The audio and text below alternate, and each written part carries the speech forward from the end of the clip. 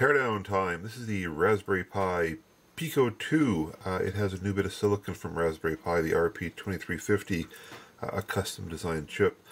It has a quad SPI flash, it looks like, and uh, some sort of voltage regulator here. We're going to take these semiconductors off the uh, board and uh, take a look at the silicon die and see what we can sort down. So here's the top metal of the uh, Raspberry Pi 2350.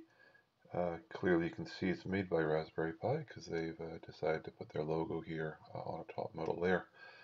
Um, on the majority of the chip it's covered with uh, what's known as the power distribution network. Uh, all these items here that I'm circling basically is the digital area. And if you just zoom in you can actually see that you um, get a, a, connection from one of the pins. Here's another pin. It comes in, you can see it runs down like a finger one of these will be uh, ground, of course, and the other will be, uh, as you might expect, the power pins. In fact, actually, this pattern is so uh, apparent, um, it's going to be fairly easy to actually start orienting the chip and determining what we're looking at. Okay, what else can we see? Um, just looking at the upper uh, section here in pink, uh, where there is no power distribution network, uh, that's because these parts of the chip are probably macros, which have analog type functions, and they wouldn't do so well if you place some uh, power distribution on top of that. Uh, looking at the logo from the Raspberry Pi, you can see around it um, there's a, a, block sitting below. It must not be a very high speed because that metal otherwise would affect it.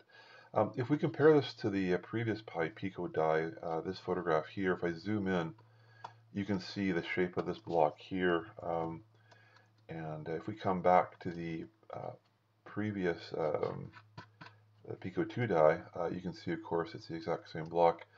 Um, no, that makes sense. Uh, Pico uh, are done on the same process node, apparently. So lots of reuse. The Pico 2 very much is a, an incremental design. All right, what else can we see? There's die markings, which are very helpful. Uh, A0 means it's a uh, first uh, design success straight out, no revisions required.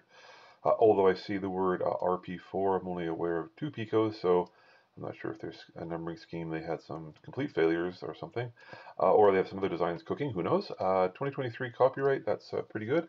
Uh, it's now, of course, mid 2024, and we have it in our hands. Um, this is done in a quite a mature process node, but still they're ticking along nicely. Um, and another die mark over here telling us the uh, number of uh, layers on the assembly.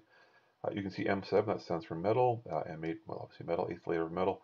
Uh, the A0, A0 again, first uh, die success. So uh, typical things. Uh, if you're wondering what these um, uh, square little boxes are, it's basically infill, um, much like you would do on a circuit board, but here done microscopically on a, a die. when you have no metal, you want to actually balance it out for etching purposes. Okay, so if we take this uh, top metal layer off, uh, you get a picture that looks like this. It's known as the diffusion or polysilicon layer. Uh, why don't we uh, go back to the section that was all covered up by the power distribution network. And uh, you can see uh, a bunch of regular rectangles and then some what looks like uh, gray schmear in the middle.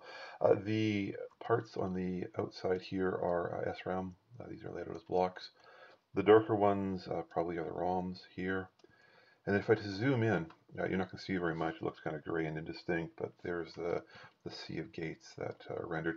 We don't see it here because the resolution of the photograph is far too inferior to be able to pick out those sorts of details. Um, if we just pop back to the full metal layer, uh, if we go up to the section here where they didn't put any metal layer onto it, um, that's because that's the USB PHY. Just zoom into the, uh, the block here and we take a longer look at it. USB PHYs are relatively tricky designs and they're very carefully laid out. So we see it was placed uh, here on the assembly. It, it, matches the same one used on the, uh, the Pico. Coming over just to the right, we see uh, what looks like a voltage regulator, um, if I understand the datasheet correctly. I'm not quite sure why they put a voltage regulator on here, um, on die, uh, because um, Normally you would expect you to do that in the, the uh, PMIC, uh, power supply circuitry externally. This is a 40 nanometer process node. It's the silicon's more expensive than it would be at 200 nanometers where most PMICs are done. Um, however, I'm sure there's some sophistication going on with the power uh, that I'm not yet quite sorted out. If we zoom it a little bit, I think the, there's four, four ADCs on this uh, assembly, and uh, they are undoubtedly uh, controlled by the block here. I'm just going to sketch it out. There's some blocks in here Uh, what else can we see? Uh, on the uh, edges of the peripheral, that's of course where all the bond pads were, the I.O.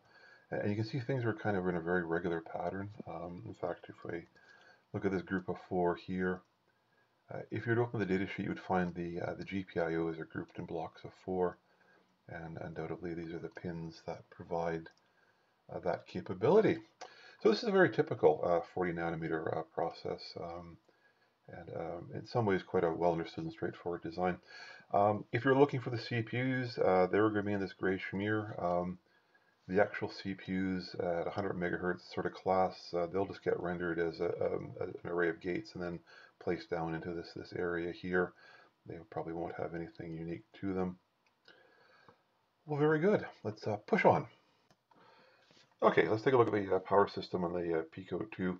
Uh, it's all based upon a single integrated circuit sitting here. It's got a couple of associated capacitors, an inductor, and looks like there's a protection diode here. It comes in from the uh, USB port. A little more sophisticated than I was expecting. It's based upon a Richtek uh, RT6150, but it's interesting enough, it's a buck boost converter. Now, from a USB connection, it's always going to be 5 volts, but um, this thing is going to accept uh, voltage lower than the 3.3 volts it's going to uh, output and one that's slightly higher. So I presume this would allow you to do battery powered uh, assemblies quite easily because you don't need to put that 5 volts from the USB in. I'm not quite sure why they didn't put down a, a buck converter though. Uh, no matter, uh, if you take off the packaging, you can see the typical structures of a modern voltage regulator. Uh, a good portion of the die is basically transistors on the top, and on the bottom, uh, in the sort of pinky color, is basically the going to be a voltage reference and then all of the logic to create uh, the function that's desired. Again, if you can strip the metal off, it's a bit of a partial strip here, to get it quite clean, but uh, you can see the typical structures of a large transistor sitting below. Okay, uh, last semiconductor on this assembly is a quad SPI. Always causes me amusement when I hear that name. Uh, SPI, of course, stands for Serial Peripheral Interface. Uh, eventually, though, the bit stream became too slow, so they started adding more bit streams to it, so they called it Quad. But of course, once you have a parallel bus, it's a bit, well, no matter. Quad SPI. Um, there's going to be a memory array uh, under this here. I should probably it's not under anything. You actually see the polysilicon. And then the uh, voltage boost and uh, control will be under here. Let's just uh, take that metal off and get to the next picture here, which will be the um, uh, polysilicon. And sure enough, you can see the uh, the page arrays of the memory. You can see them they're arranged in columns, and if you look closer, they, then they're arranged in little blocks here. And that count will actually match what the datasheet says. Uh, on the top side is a voltage boosting regulator. That's what all these analog electronic capacitors are for to program an E squared PROM, you need to generate tens of volts. So it's all done on die. And then uh, down in the lower portion is a lot of digital logic, uh, which of course provides that uh, quad SPI interface. Very typical.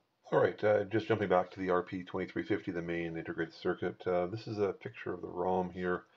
You can see uh, columns and, and rows a bit indistinct. Uh, there's a trick you can do in GIMP where you adjust the curve after you take a photograph in a microscope to help tease out uh, some better details. Uh, but um, I suspect actually the ROM pattern itself uh, is uh, probably encoded in a metal layer.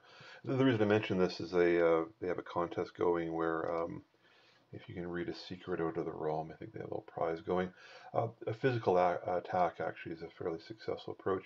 However, you have to do selective, mail, uh, selective uh, metal delayering, which is actually somewhat sophisticated, but I suspect you could take the secret out that way. So just an amusement. All right, why don't we take a look at the circuit board and see if we can start down anything of interest. Uh, the connections for the edge card are all golden. Uh, that's because it is gold. Uh, it's called an ENIG or electroless nickel immersion gold finish. Well, it may even be a hard gold finish. Very appropriate, of course, because you handle a circuit board. You don't want to have corrosion, which makes it then hard to solder on the headers. Uh, the part that we didn't talk about at all, of course, was the uh, 25 megahertz crystal sitting in this uh, silver package here. Uh, very typical. A lot of people complaining about the connector being micro USB yeah, micro USB, yes, uh, rather than uh, the um, USB-C. Um, however, I believe there's a definite cost advantage with micro USB, and uh, quite frankly, uh, this board does not draw a lot of power. If you flip it over, uh, there are no components, uh, but um, there are definitely a few things you can see of interest. Um, the board was manufactured in the 25th week of 24, which is June. Here I have a completed assembly in my hand in August, so a rapid build through. You always want to look at the build through of a company to see how fast their inventory is moving. Not hugely surprising, there's massively fast build through uh, with Raspberry. Um, very successful company and obviously a hot new assembly. Uh, QR code here is used for traceability, which is uh, very important uh, to see that. It implies a lot of process control. You see that on a circuit board. Uh, UL marking here uh, regarding, of course, safety. Uh, I have no doubt there's lots of safety to be had uh, from this company, uh, well-regarded firm. So there we go. Uh, a neat assembly. Um, it's going to be certainly interesting to see what they do next. they've obviously demonstrated they can do 40 nanometer processors. They obviously listen to their customers pretty carefully and produce the Pico 2 with all sorts of interesting things. I'm sure that's directly from customer feedback. Uh, where they go next will be certainly interesting. Um, if you're a fan of computer history, it's fun to watch uh, Raspberry Pi. Um, in the early days of compute, uh, England and uh, Britain was very much in the forefront. Um, and uh, now to see, of course, this uh, this chip here is, of course, all, almost all the IP comes from a company called ARM, very British indeed, and of course Raspberry. So neat company, certainly fun products to tear down. Hope you like that. if you want to take a look at the pictures of the silicon die. I have them on my blog, electronupdate.blogspot.com. Those files are very large, 50 or so megabytes, because uh, lots of details when you photograph semiconductors.